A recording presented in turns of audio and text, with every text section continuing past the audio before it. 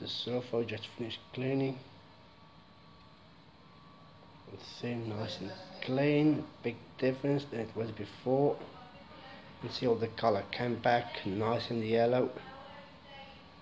So if you want yours to look like this and nice and clean give us a call on the number here on the screen and uh, we'll get a proper professional leather cleaning service with that is guaranteed okay?